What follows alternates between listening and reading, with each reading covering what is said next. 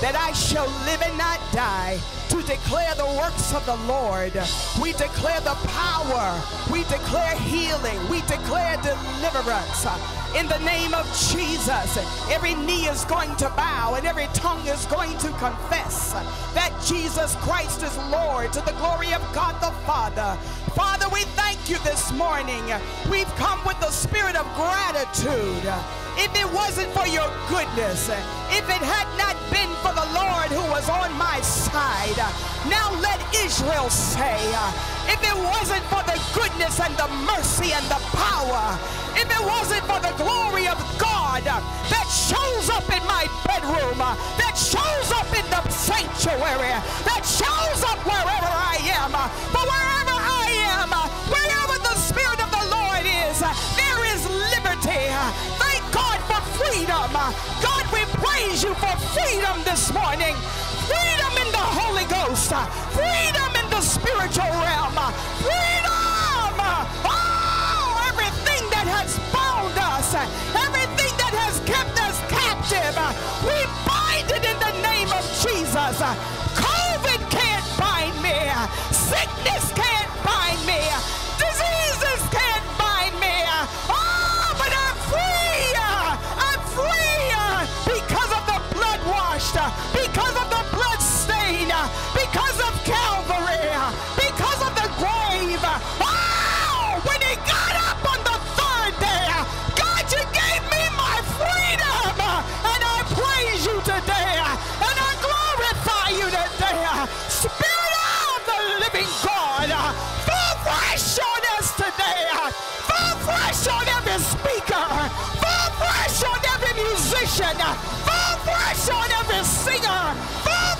on every praiser. In the name of Jesus.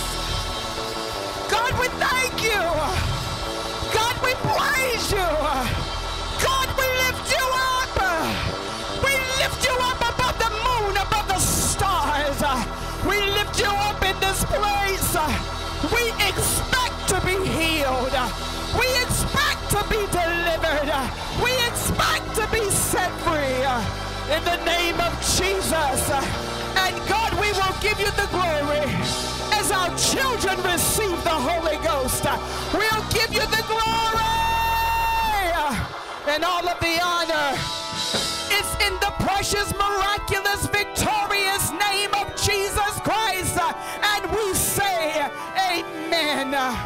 Come on, wherever you are, wherever you are, wherever you are, you owe God a praise right now. Why don't you forget about the trouble? Why don't you forget about your cares? Why don't you forget about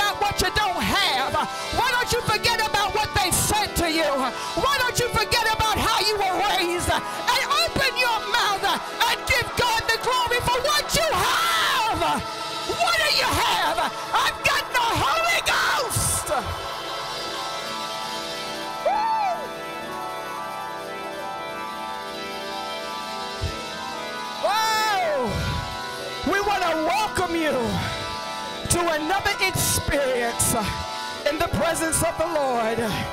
Wherever you are virtually, and us that have gathered today, that we believe that God is making an impact in the kingdom through the people of God for such a time as this. And we give him all of the praise and the glory. We want to thank you, all of our family members, all of our friends and loved ones, and for everyone that has tuned in this morning. We want to thank you for joining us as we've come for one purpose only. We are expecting a miracle from God, and we're not going to leave this stance until we get what we came for. So if you're in your living room, if you're in your bedroom, it doesn't matter. The God that we serve is omnipresent.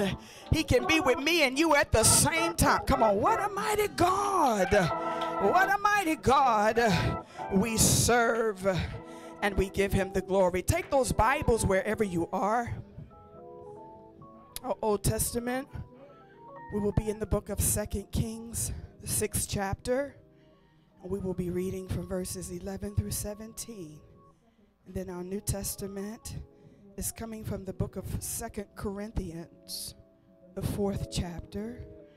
And we will be reading from verses 15 through verse 18. And before we read, we just want to acknowledge the presence of our bishop with us. We greet our bishop. Amen. In the name of Jesus Christ, our leader, our man of God. And certainly to Pastor Fields, we greet her in Jesus' name. Amen. To all of the deacons and to all of our leaders and friends, musicians and singers, we greet you in Jesus' precious name. Second Kings, six, the sixth chapter, beginning at verse 11. Let's read together. Therefore, the heart of the king of Syria was sore troubled for this thing. And he called his servants and said unto them, Will ye not show me which of us is for the king of Israel? And one of his servants said, None, my lord, O king, but Elisha, the prophet that is in Israel. Telleth the king of Israel the words that thou speakest in thy bedchamber.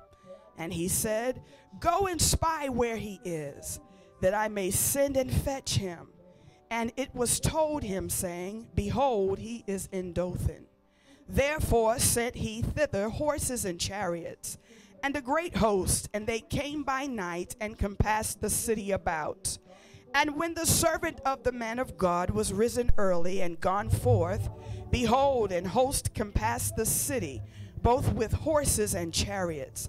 And his servant said unto him, Alas, my master, how shall we do? And he answered, Fear not, for they that be with us are more than they that be with them. And Elisha prayed, and the Lord said, and Elisha prayed and said, Lord, I pray thee, open his eyes that he may see. And the Lord opened the eyes of the young man, and he saw.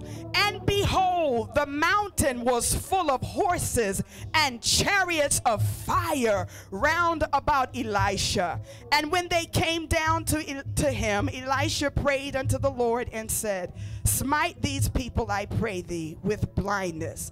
And he smote them with blindness according to the word of Elisha. Somebody say, Hallelujah. Hallelujah. Second Corinthians 4, verses 15 through 18. Let us begin.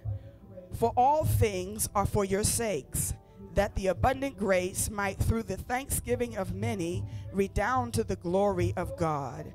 For which cause we faint not. But though our outward man perish, yet the inward man is renewed day by day. For our light affliction, which is but for a moment, worketh for us a far more exceeding and eternal weight of glory. While we look not at the things which are seen, but at the things which are not seen. For the things which are seen are temporal, but the things which are not seen are eternal. Somebody give God a praise for his word. We thank and praise God for his word. Let us recite our mission statement. Amen. We are Timbro Churches International, commissioned to renew lives by reaching and restoring, teaching and transforming, equipping and empowering people, which means we reach out to attract the lost and unchurched for salvation first, then teach and train them to serve in ministry and to change the world for praise Jesus the Lord, Christ. everyone. Come on, let's praise the Lord, everyone. Do you know you serve a mighty God? Do you know you serve a mighty God who is able to do exceeding abundantly above all you could ever ask or think? The word of the Lord says in 1 Corinthians that eye hasn't seen nor ear heard, neither have it entered into the heart of man what God has in store to them who love him. If you're ready to see the things that the Lord has in store for you and you truly love the Lord, someone just say, I'm getting ready to see something I've never seen. I'm waiting and expecting for the things that the Lord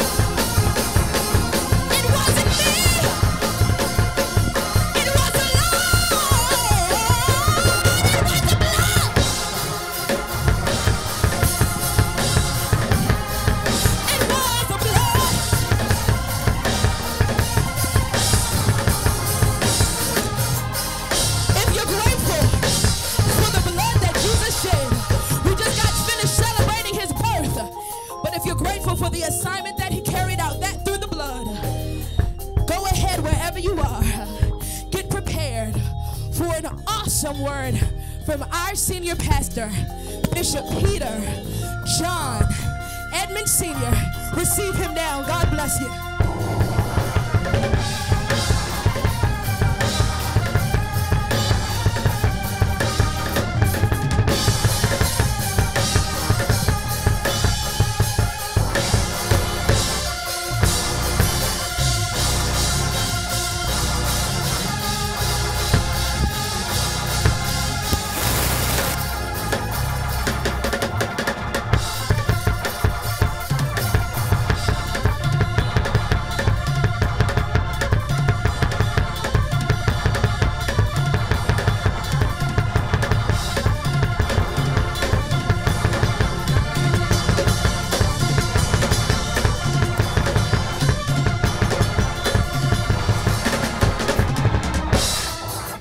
Somebody ought to go ahead and praise him. Somebody ought to go ahead and praise him. Somebody ought to go ahead and praise the name of the Lord. In the fourth chapter of Second Corinthians, let's go to the word. In the fourth chapter of Second Corinthians, I want to perhaps cause us to think about a word that's going to transition us into a completely new environment of God. And as we bring this year, the year of the Lord 2020, to a close, we want to make sure that we leave out of this year uh, impacted and prepared for whatever God's going to do next. And I thought as I prayed about this transitional time, even as we go through the end of the year, let me read it, let me read for you the, the fourth chapter of Second Corinthians as we believe God for what He's going to do for us. And right about verse 16, for which cause we faint not. But though our outward man perish, yet the inward man is renewed day by day. For our light affliction, which is but for a moment, worketh for us a more exceeding and eternal weight of glory. While we look not at the things which are seen, but the things which are not seen. For the things which are seen are temporal, but the things which are not seen are eternal. Read 18 with me, will you? While we look not at the things which are seen, but at the things which are not seen. For the things which are seen are temporal, but the things which are not seen are eternal. Before you take your seat, I have been trying to figure out positionally where we need to be as believers as we transit into another year. But with 2 Corinthians 4:18 in mind, we have a we do have a condition. We do. Smile at someone, tell them you do have a condition. You do. Now tell them this I have a nervous expectation. Somebody didn't get that. Smile at someone, and tell them I have a nervous expectation. Can we talk about that for a minute? Will you please be seated in the power of the Lord? I would open by sharing no matter how much you walk with this God, it amazes me how much you can still walk in a certain level of darkness or a certain level of anonymity.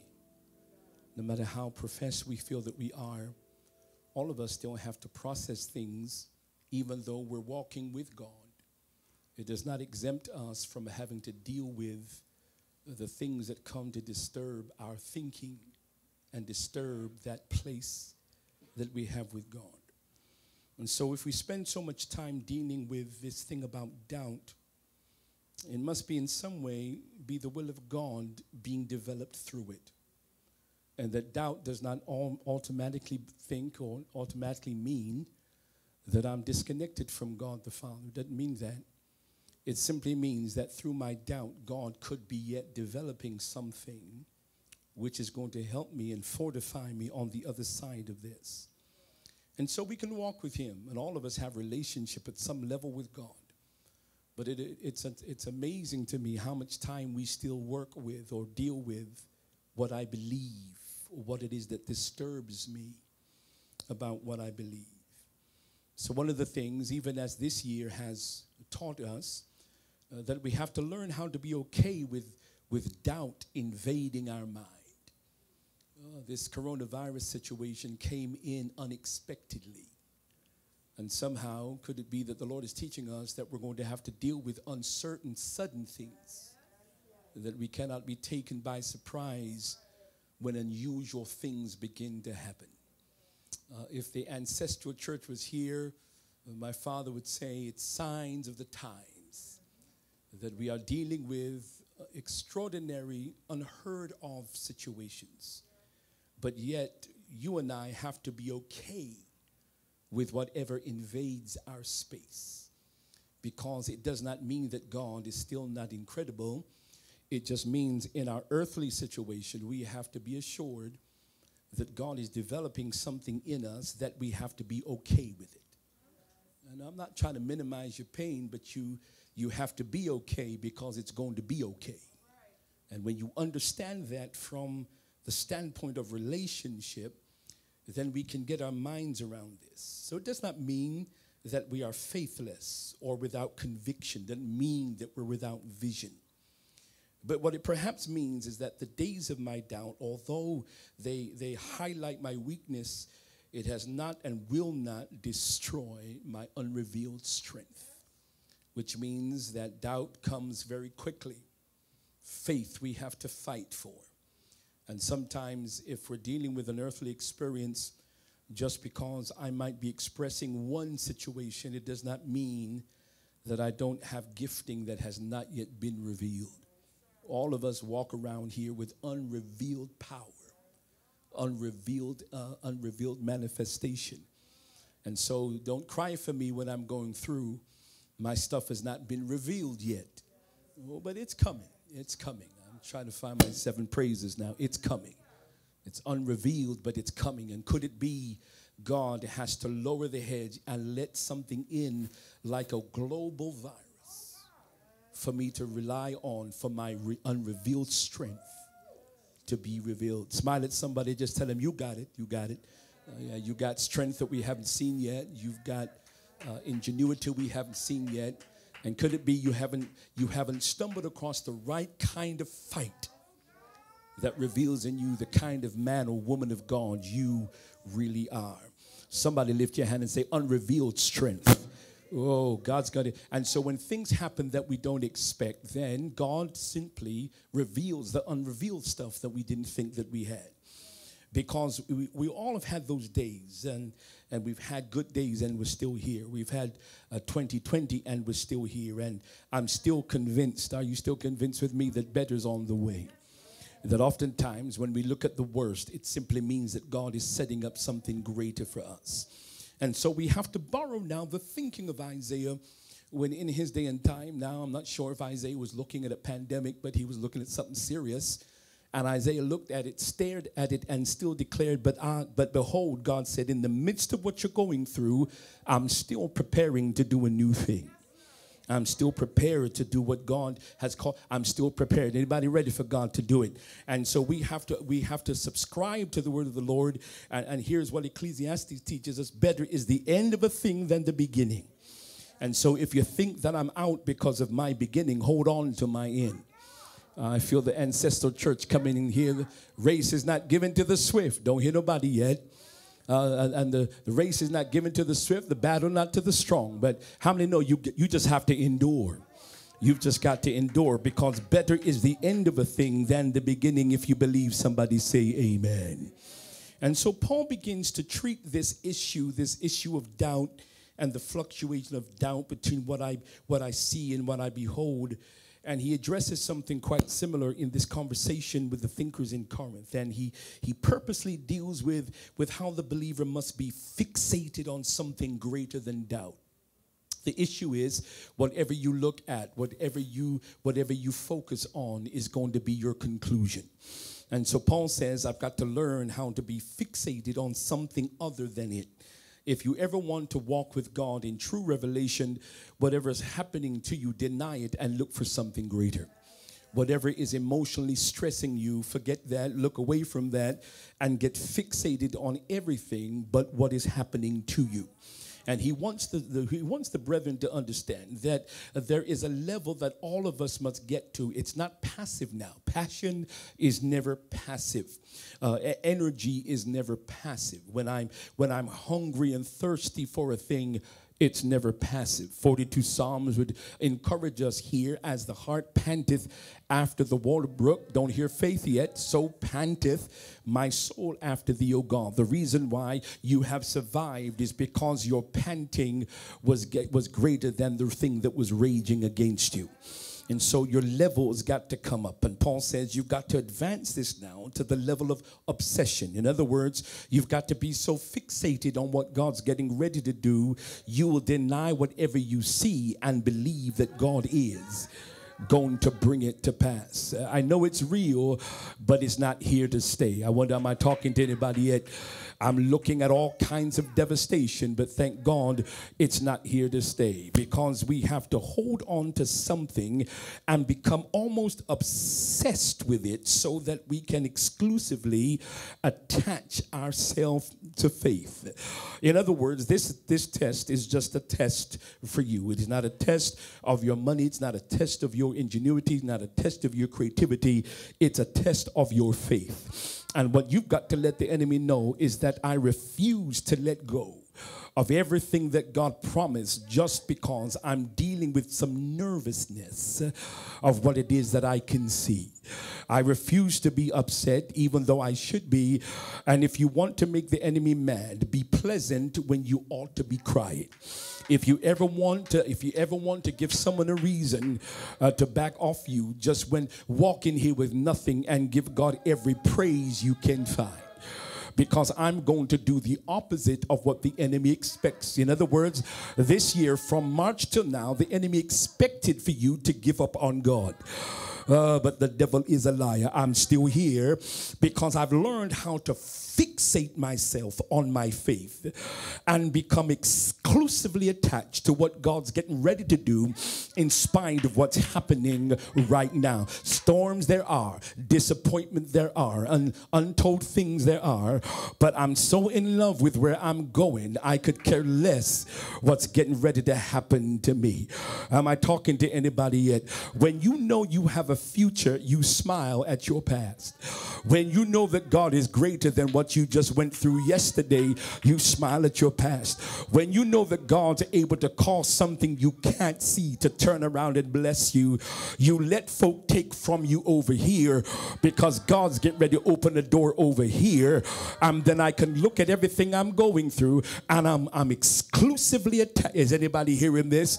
I'm so stuck on praise that you can't get me off it. I'm so stuck on worship that even when I lose my mind, the last, I'm telling God, the last thing I want to lose is my praise.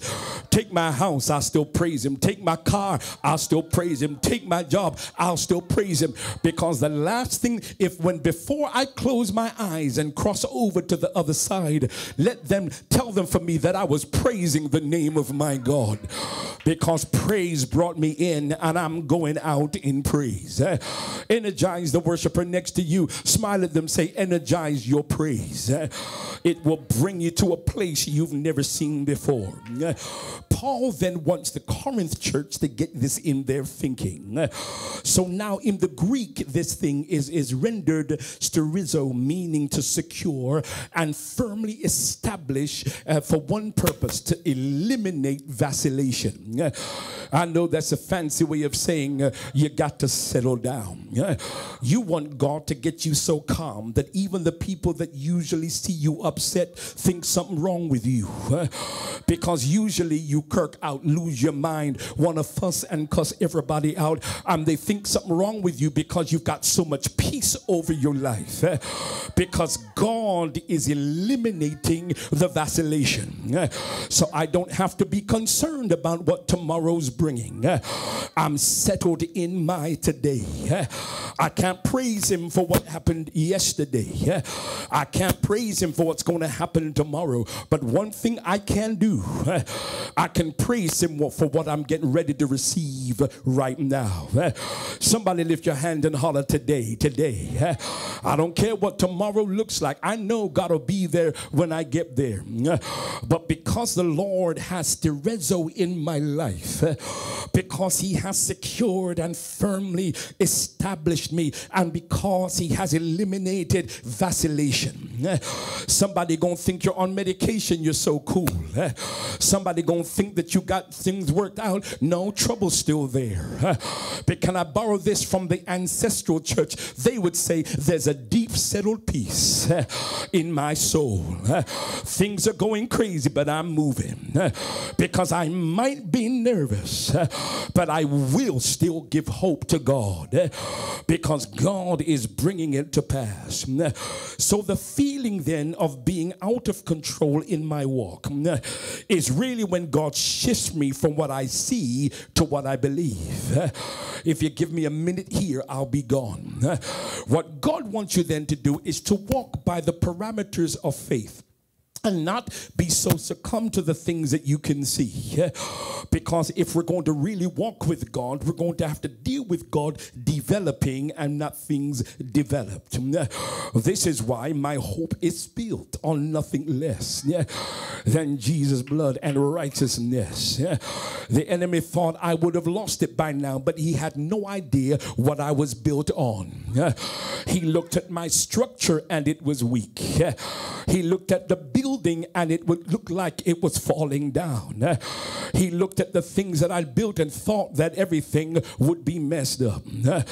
But he forgot about the promises of Matthew 16 uh, when Jesus, through Peter, revealed that upon this rock, I don't hear faithful people yet.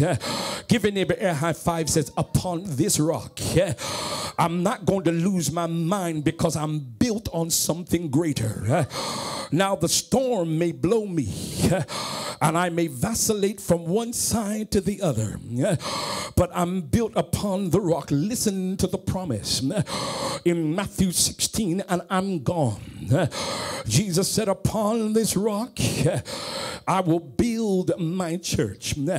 But listen to the full promise. Sometimes we shout over the A clause. You got to wait for the B clause. The A clause is upon this rock I build my church.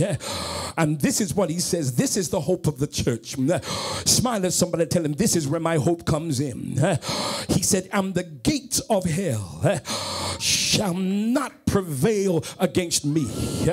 Can I help you understand that? Because if you don't understand the promise of God, whenever something happens, you believe that God was not true to his promise. What he said was the gates of hell. What he didn't say, what he did say, I'm going to tell you what he did say, but what he didn't say, he didn't say uh, that the gates of hell would not try. He didn't say that this year you would not have trouble. Uh, I need seven praises now. Uh, He didn't say that I'm not going to test you on every side. Uh, He didn't say that brethren will turn against you and people will do all manner of evil again. He didn't say that. But what he did say was that upon this rock I will build my church and the gates of hell shall try. Did you get it now? Hell tried you this year. Hell tried to drive you out of your mind. Hell tried to turn you upside down. But I've got a message for hell. You did not survive. You did not prevail. And what you ought to do is tell hell to go back to the place it originated from.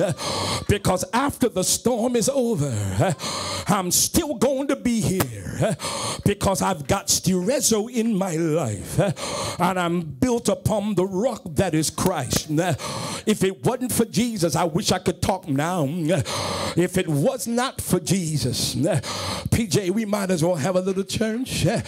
Look at somebody tell him if it had not been for Jesus, hmm, then I don't know if I would have survived this long. If it was not for Jesus, hmm, I thought I had faithful people in here. If it was not for Jesus, then I would not understand what was happening. But because of Jesus, I didn't come here to impress you. I went through hell this year.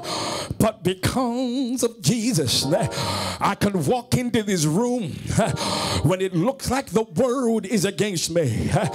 And I can look at what I can't see and declare it's on the way. Somebody lift your hands and declare it's on the way. I don't see it yet, but it's coming. I don't have it in my account yet, but it's coming. The house he promised me is not here, but it's coming. Because I have an assurance that even on my worst day, God's still gonna settle me down. Can somebody glorify him right here? Because he's eliminating my vacillation. He's given me hope for tomorrow. And because my worst days, sometimes it feels like my life is a pendulum. I got to close here. It swings one way on Monday, it swings another way on Tuesday, it swings another day on Thursday. But what the enemy doesn't know is in between the left and the right is the center of the will of God. And I might be confused over here, but after the storm is over, I wish I had faith in the room. He's the center of my joy. Give your neighbor a high five. Give him an air high five. Don't touch nobody yet. These are coronavirus conditions. Give your neighbor air high five and say, Stay in the center. Your mind is over here and your situation's over there.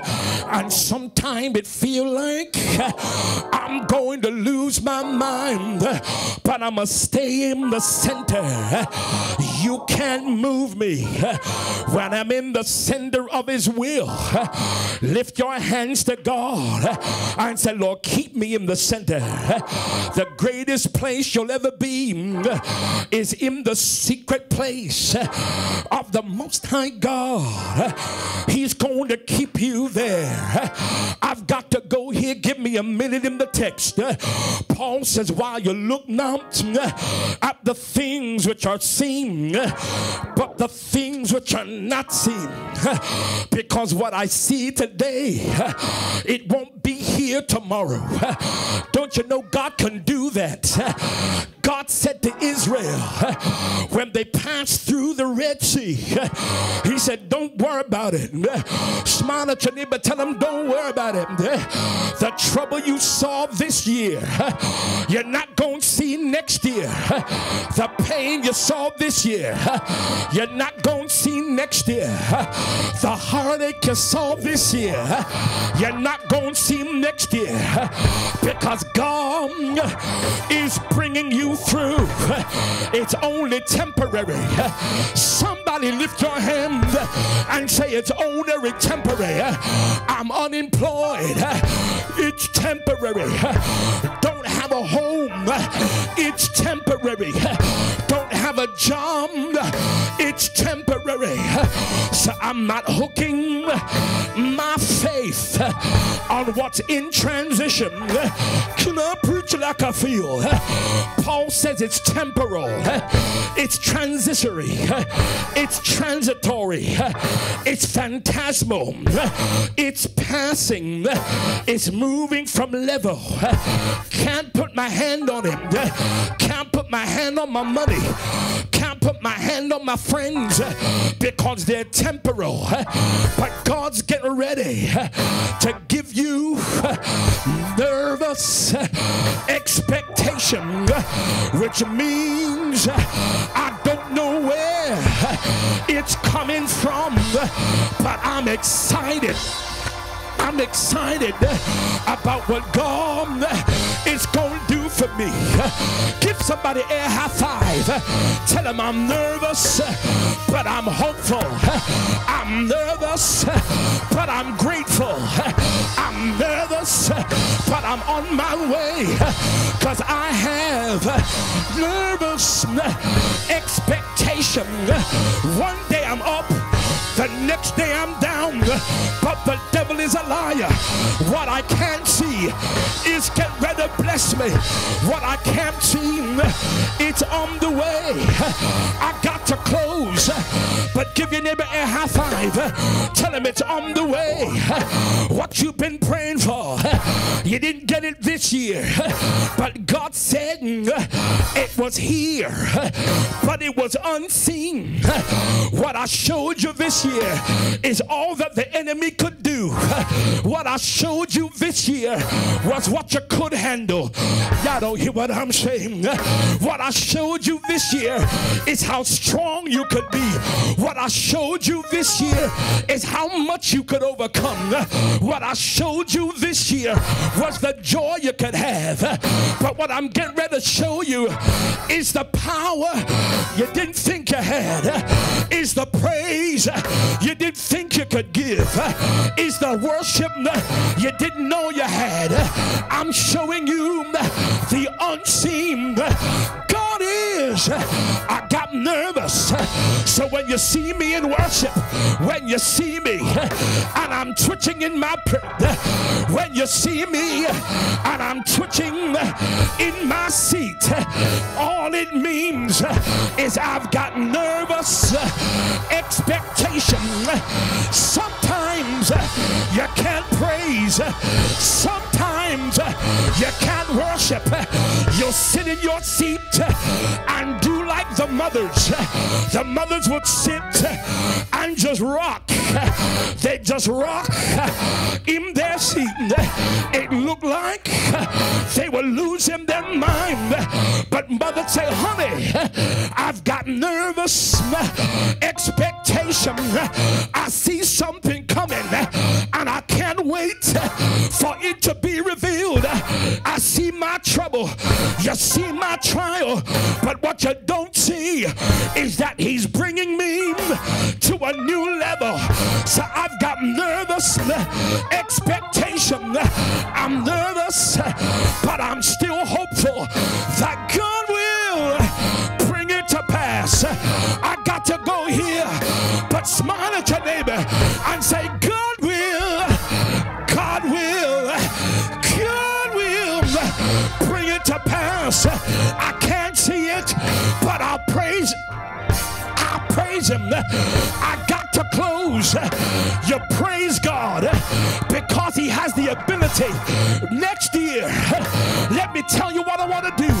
Next year,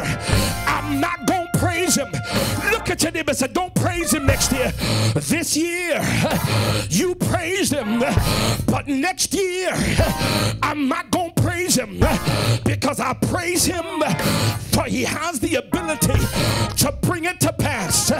Then I worship him because there's nobody like him. But 2021 is going to be a year of thanksgiving. When I give him thanks, it's because it's in front of me. When I give him thanks, it's because he opened the door. You praised him for it to come, but now that it's here, I've got nervous expectation. I'll thank him. I'll thank him. I'll thank him because I've got that. of nervous. I'm nervous, but he's going to do it. I'm nervous. I'm going to sign. Can I help y'all?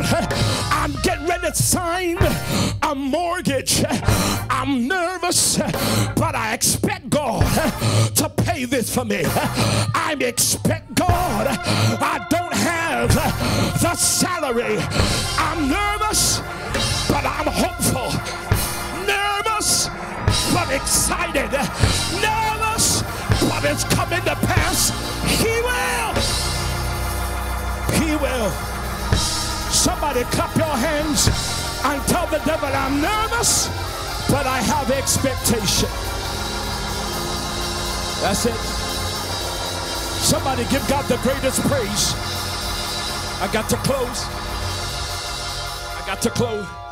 Which means that everything that God's getting ready to do for you, you're going to be nervous before you sign it. But don't let your nerves destroy your faith. Because Paul says in Romans 7 that with my flesh I serve the law of sin. But in my mind I serve the law of God. Never let the law of sin override the law of God. You're getting ready to sign something big this year. And everybody around you will tell you you can't afford it. I remember when Pastor and I bought our very first home. I knew credit was jacked up. I knew. In fact, I walked into the I walked into the dealership with a ream of paper, 500 sheets of paper, and the man said, "What what, what do you need this for?" I said, "You're gonna need that much paper to run my credit.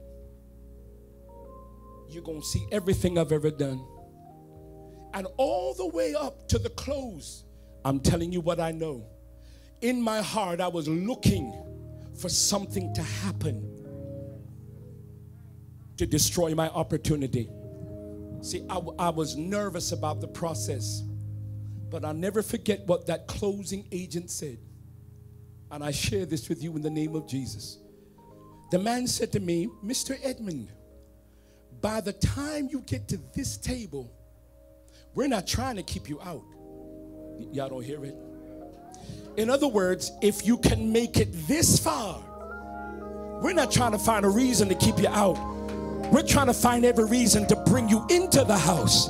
And I'm telling you, because you made it to December 2020, God said, because you made it this far, Oh, I'm going to bring you in in 2021. Somebody open your mouth and praise the God that's getting ready to bring you in. So I signed it. I signed it. I was nervous, but I had expectation. And what the Lord reminded me this morning, and I've came to I've come to tell all of you, you're gonna be nervous about everything that God puts in your path because it's unseen. We see the trouble. Uh, the, the words of Mother Mother Clementine Wright. She was a mother uh, in our church in Bristol, and, and I just heard her words. She would always recite the words of this hymn that, that doubt sees the obstacle, but faith sees the way. I wish you would get that. That your sight will always see the problem, your faith will always push you in spite of it. What are you going to do? Lift your hands. I'm praying, Father, in Jesus' name. Someone is closing this year with nervous expectation. I saw what the I saw what the pandemic did to my family. I saw what it did to my loved ones. I saw what it did to my church. I saw what it did to my job. I saw what it did to everything. But God says, stop looking. While we look not, do you get it now? While we look not at the things which are seen, those things are transitory, they're phantasmal, they are moving. But God says, I'm going to settle you in 2020. I'm settling you. In other words, I'm going to minimize the nervousness and increase your expectation. That you'll look back at 2020 and say, This is why I had to go through that. Because God wanted me to reach for something greater than what I was. Father, I pray right now in the great name of the Lord Jesus. I'm praying for somebody right now that says, Lord, what am I looking for? I, I can't wait to get out of this year. But don't get out of this year without a plan for what you're going to do, do differently in the year to come. And so, Father, while we look not at other things which are seen, somebody needs strength right now. Come on, reach up that hand to God. Somebody needs strength right now. God wanted to remind you today be nervous, but still expect me to do it. Be concerned, but still expect me to do it. Be upset, but still expect me to do it. Pray now, now for somebody. The Lord said, I sought specifically in the Spirit of God. The Lord says, I'm going to cause you to sign something. You'll get ready to sign something. But know that what I, I'm, I'm revealing the resources that are not seen yet. You're looking at the resources you have now. God, maybe I'm preaching to myself. Stop looking at the resources you see now, those are seen. God says, I've got some other sources for you that are unseen. But I need you to believe God. I pray now for healing in the body, for our family members that need to be healed. God, I give you all grace and glory now in the name of the Lord Jesus. Father, we believe and pray for everything that you promised you were going to do. We give you praise and glory. In Jesus' name, everybody clap your hands and give God the greatest praise. Give the greatest praise. Give the greatest praise. Glory to God. Can you join me by giving God the praise for his word today? Come on, I've got nervous expectation. Glory. Can we take a moment and open our mouths? I know we're going to have to leave, but Lord, you're worthy of all praise. And we give God the praise for what he has done and what he has spoken over our lives today. Come on, anybody have nervous expectation? I know he's getting ready to do it. I know he's getting ready to do. Come on, I know he's getting ready to do it because we're seated with Christ in heavenly places. And we thank God that we have that spiritual authority that we can speak it and believe according to his will and according to his word that it shall come to pass. Glory to God. It's giving back time. Amen. Wherever you are, there are a few ways that you can give today to Timbro Church. You can give by calling the church at 301 955 01, I'm sorry, 6192. That's 301 955 6192 if you would like to call and give your gift over the phone. Also, you can mail a check or money order to Timbro Church at P.O. Box 394, Bowie, Maryland 20719. Also, by Cash App. If you're searching for us, it's at Timbrell Church. At Timbrell Church. Also, by downloading the app Givelify, and you also can find us at Timbrell Church. What a mighty experience that we've had on today. Amen. And we're trusting and believing God that all of our family, our partners, our guests, our friends, come on, pick up your phones, do whatever you can, and let's be a blessing, amen, to the people of God. We thank God for what He has done, and we trust Him every step of the way. Anybody here trust Him for your home? Come on, we're going to trust Him for the house of God. Amen, that He's able to do it. All right, we're getting ready to leave this place. Amen. And we're going to recite our departing statement. Join me. I've been blessed to be a blessing. I leave this service for one purpose only to serve my community, to grow in grace and the knowledge of our Lord and Savior Jesus Christ. To him be glory both now and forever. Go and change the world for Jesus Christ. Whoa.